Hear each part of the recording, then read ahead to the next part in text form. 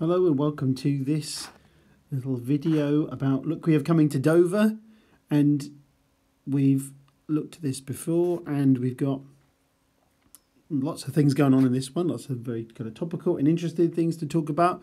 So let's dive straight into it. So we have title first of all oops meant to press the wrong thing. There we go that's going to be the highlighter there sorry about that. So we go on the title straight away.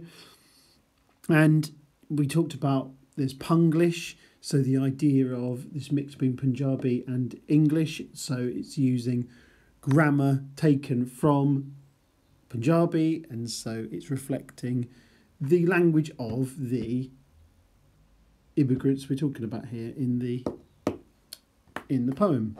They're kind of hypothetical, and I think there's a mixture of people in here as well. I think it's the way the poem is presented is it's not necessarily following certain individuals it's generally describing immigrants of different backgrounds and different natures and different reasons for coming to England as well. I think it's covering all of those. So so that's the first thing. And then second thing is about Dover, Dover being a symbol of England and it's the closest parts of the continent and that's why there's channel crossings over there to this day um, by people coming on the on the little boats, and because it's so close, you can see France from Dover. That's how close it is.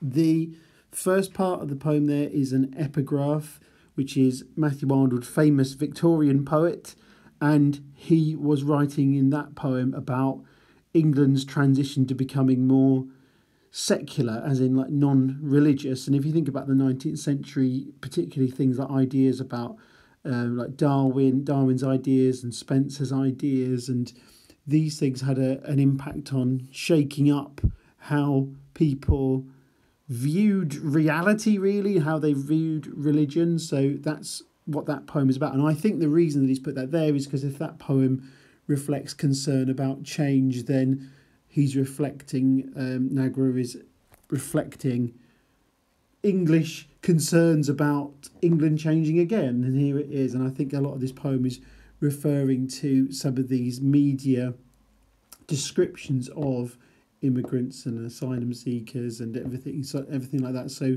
it adopts some of the language of the tabloids as well so i think that's another reason that he's referenced this poem because it links to the idea of England changing, and I think that's what he's thinking of there. And maybe the changing of the people arriving into England as well. It can work the other way too, and that is actually reflected in the poem as well. So we have um, stowed in the sea to invade. So stowed is interesting because that's a verb that's associated with the sea, you know, like stowaways, isn't it? And it's got connotations of hiding and that you're not meant to be there. Then the way that it's written, it kind of a bit of a mixture here because sometimes because you look at it, it feels like they're on a boat coming in because you've got the sea to invade. Now that is um, stowed in the sea to invade. Invade there as a verb again. It's Nagra is, I think he's deliberately emulating and actually satirizing in many ways as well the language of UK tabloid newspapers. If you think about the Daily Express, Daily Mail, Sun Mirror and all the like. It's those kind of that's the kind of newspaper language that they use. Then we have alfresco again alfresco lash of a diesel breeze that actually creates a sense of cohesion with the last part of the poem down here where they're actually um, the figures that he's talking about the people he's talking about are sitting eating outside well or sitting outside and that's what alfresco means is eating outside, sitting outside, isn't it? And notably, it's an Italian word. So again, I think he's referring to the idea of everyone in this country has come from somewhere at some point where you know it was an empty landscape people arrived it's never it's never because it's an island humans have never evolved on british shores so obviously everyone at some point has arrived in the country from somewhere else. Everyone's ancestors have come at different different times, admittedly, but it's everyone. Everyone has. So, I mean, some of those were invasions. Actually, thinking of it as well, some of those were real, like uh, William the Conqueror. that was that real invasion, isn't it? So anyway, but anyway, that's what I think he's kind of referring to. I'm sorry, I got a bit of a sidetrack there. It's an interesting poem. There's lots to say. Hyphenated compound, diesel breeze. This is a clever way of mixing up that sense of. Well, in this first stanza, actually, there's a sense of motion and there's also a sense of uh, sensory appeal as well because the idea of you got a feeling of the, the wind, the kinesthetic imagery there, and diesel olfactory imagery. So that hyphenated compound expresses two emotion, not emotion, sorry, two senses there. And you could even say it's synesthesia, where you're mixing up two senses. Almost said emotions again. senses. Ratcheting is an interesting verb. It's in present continuous tense there, but the idea of you could imagine like increasing speed, ratcheting speed, you know, like as if you're going through gears brunt with gobfuls of surf phlegmed by cushy come and go tourists. So this is all uh, very evocative language, the idea of that sense of movement on the sea. Then the idea is very sensory because gobfuls of surf, like the sea going into your mouth, like goes onto your face, isn't it? And the smell of the petrol as well. Gobfuls of surf. Gobfuls is a colloquialism. And phlegmed is an unusual verb as well, but the idea of that's people spitting, isn't it? And actually, I think this is possibly a reference to the UK. There is a lot of, I hate it, don't you? I really hate it. I hate it when you see it when you're out and there's people spitting up on the pavement and stuff. It's, it's disgusting, isn't it? I blame footballers, to be honest. I think they've set a bad example over the. To be fair, they kind of have to, but the camera doesn't need to zoom in, does it? Anyway, I'm going. I'm going off on one again. Cushy come and go. So cushy is another colloquialism there as well because you come and go tourists. So that's thinking about channel crossings. You know how easy it is for a UK citizen to cross. well, maybe it was easy before Brexit. It's slightly more difficult than it used to be, of course. But the idea of it being really, this poem was written before Brexit. But we don't have to do context on this. But you come and go tourists, proud on the cruises. So proud for me there. That I don't know about you. It makes me think of Titanic. It makes you think of people doing the uh, the classic um, Jack and Rose on the on the front of the boat. You know, the prow. Gives me that idea. And lauding the ministered waves is that really that's got connotations of the Rule Britannia song, isn't it? Lord Britannia, Britannia lures the waves. So there's the idea of lauding the ministered waves, and ministered has got connotations of power attached to it as well. Then we have seagull and shoal life. So there is a sense of getting closer to the shore here as well. Seagull and shoal life vexing their blarneys. Uh, vexing is actually, people think it's a colloquialism, but it is actually standard English. It's just a weird word where it was used a lot in, say, like Jane Austen's time and um, disappeared and came back and no one really knows why. So vexing is a strange, strange word. I like it, but this is all kind of colloquialisms as well and dialect as well. Vexing their blarneys upon our huddled camouflage. So there's a sense of there's a mixture here of like there's a sense of being an outsider, but then also being kind of integrated as well. That's what I think it does with the, or wanting to be integrated at least with the colloquialisms. Our huddled camouflage past the vast crumble of scummed cliffs. So again, that could you could argue that because it's scummed cliff. I mean, you do get scum, as in sea scum around the coast when you get close to the sea and you get close to the, the, the shore and the cliffs. You see that. Uh, it could suggest that the reality doesn't match up to the prospects, really, maybe. It doesn't live up to the hype. You can't write that in an essay like that, but you see what I mean. Then scrumming on mulch. So this is all colloquialisms here as well. The idea of the seagulls as thunder unbladders. That's personification as well, and that is the neologism there, unbladders.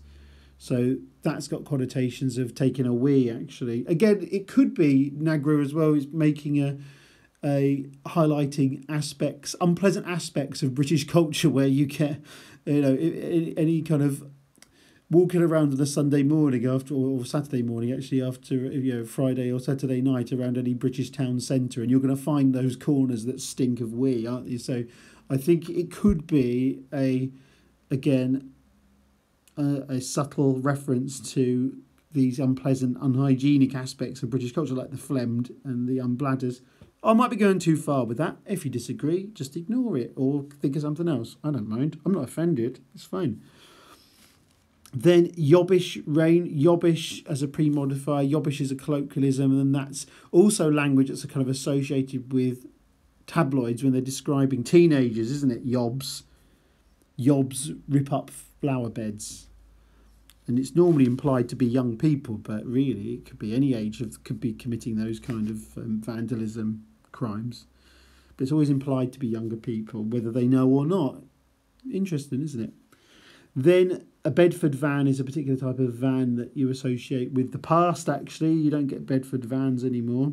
Hutched is interesting, though. I'm sorry, I accidentally highlighted that too early. But hutched it has got connotations of, again, scared animals to me. That's as a verb, using that as a verb. I don't know if it's a standard verb. I don't think it is. So probably another neologism there. Then I think into this stanza, it's more talking about immigrants in general.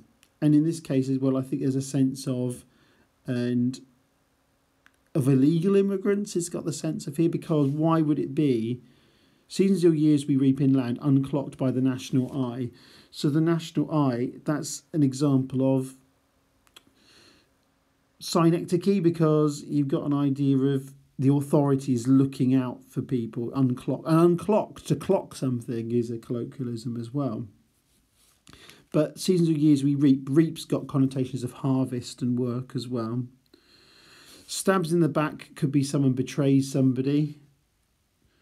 Uh, I I don't think it's we don't have to worry too much about context, but you might remember a few years back there was that government campaign to uh, they had these vans driving around with placards on the side encouraging people to uh, phone in if they knew of any suspected asylum seekers. They were kind of, or illegal immigrants. Was it asylum? I can't remember. It was illegal immigrants, I think, because these illegal, illegal immigrant vans, and they had these kind of grim signs and a phone number on the side. A bit kind of, uh, a bit sinister, really. Then we have. Uh, teemed for breathing sweeps of grass through the whistling aspirate. I, I, I, I'm not 100% sure. I freely admit I find this I find this a bit strange, the language of it. I think, in many ways, the Whistling Asper of Parks, it could be a reference to kind of suburban England again, and obviously the idea of going inland and getting jobs and hiding. And I think that could be, and the whist, Whistling Asthma, that's a very unusual word combination, isn't it? It's unfamiliar collocation, actually, is when you have words that you don't normally get together. But yeah, whistling Asper of Parks. Yeah, very very strange, very strange image. But it could be again connotations of breathlessness, of running away, of avoiding the authorities, of hiding, but of a sense of being just kind of out of sight in suburban England. That seems to fit. That's the best I got, to be honest. And I'm going to go with that. Then it gets worse in some ways as well. Burdened, ennobled, polling sparks across pylon and pylon. I, my best impression of that is is that it's a really like a network, like a it's a metaphor really to say like for pylon, or there's a network of of what would be illegal immigrants, effectively. I think that's what it's that's getting at the idea. Swarms of us again. Swarms is that kind of tabloid language.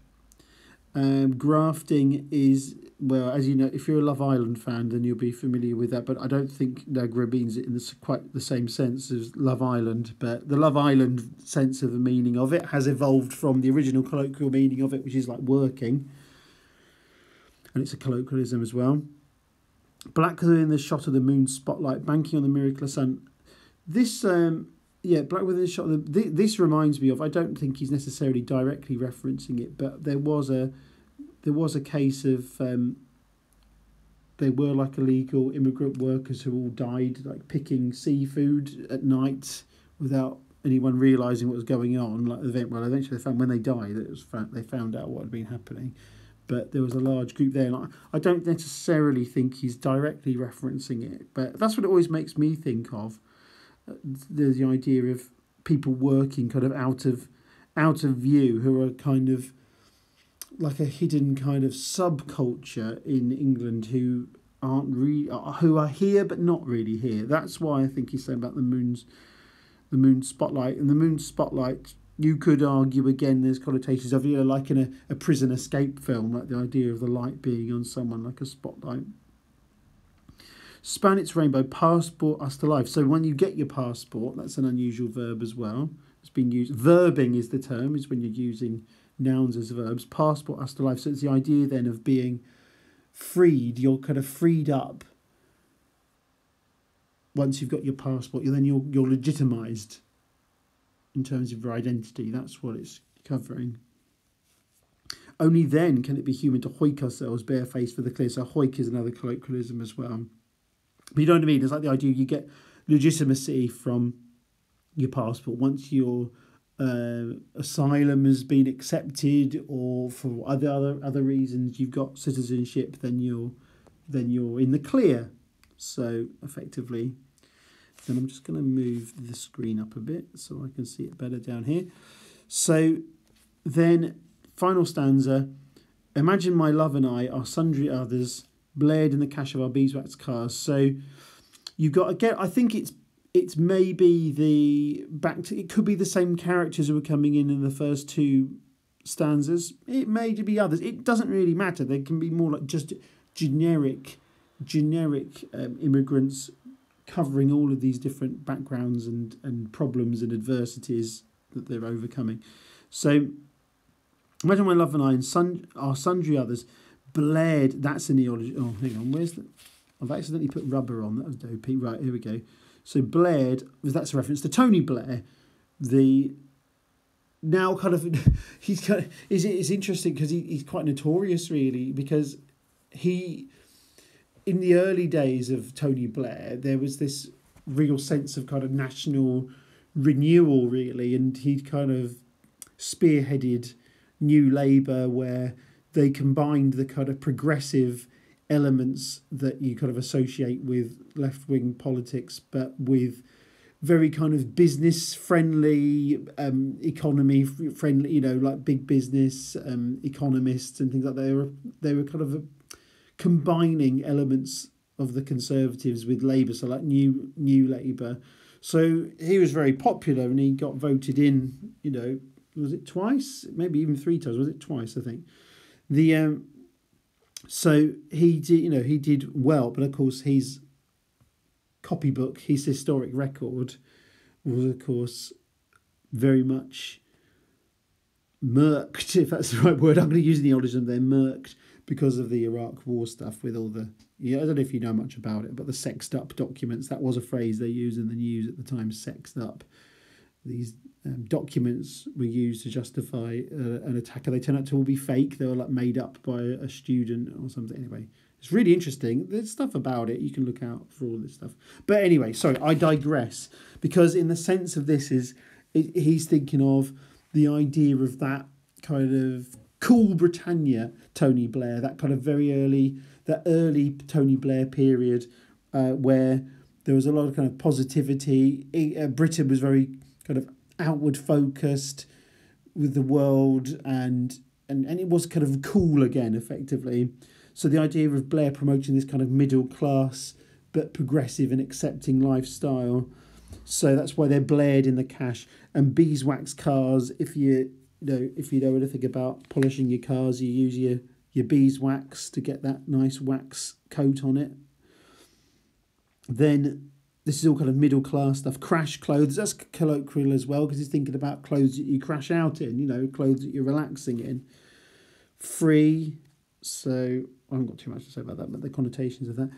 We raise our charged glasses over, unpar- over unparasoled tables.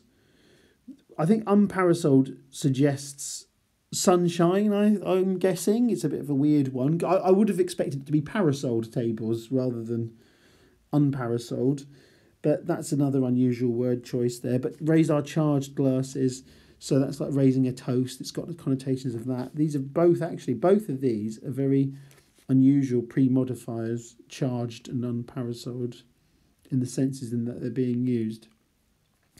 Uh, we raise our charged glasses over on parasol tables east, babbling our lingos, flecked by the chalk of Britannia. So this is the idea. This final stanza is the dream of being fully integrated, fully accepted British citizens, and then that's the idea of babbling our lingos, flecked by the chalk of Britannia. So I'd take that as meaning retaining some of your, uh, you know, retaining some of your original identity merged with, goes flecked by the chalk of Britannia, like your new identity as a new arrival in, new, probably more, probably not so new at this stage, but probably more kind of established and settled UK citizen. So that's why the chalk of Britannia and the chalk of Britannia links back to the whole Dover thing because the White Cliffs of Dover, they're white because they're cliffs. And there probably is symbolism in this poem as well, along the lines of whiteness being associated with chalk and Dover and the language of those tabloids like Invade and Idea. What other one do we have? It was Invade, didn't we? And then we had, oh, I've lost it. I can't see the other one. Might have to pause. Swarms, that's it. Thank you for the pause button. Anyway, so that's it for that. So obviously, you have more ideas. You can put comments on and think about those. But that's it. Thank you. I hope you found that useful. It's a tricky one, but it's a good one. It's a good one. Bye bye.